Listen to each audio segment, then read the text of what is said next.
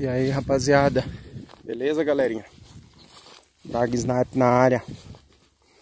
Galera, tô indo ali na, na minha ceva que eu fiz de asa branca, né? Coloquei ceva de milho. E aí tô com quatro dias que não venho aí. Eu sei que não tem mais nada. Mas tô indo lá. Vou reabastecer. Tô levando milho aqui. E dar uma esperadinha, né?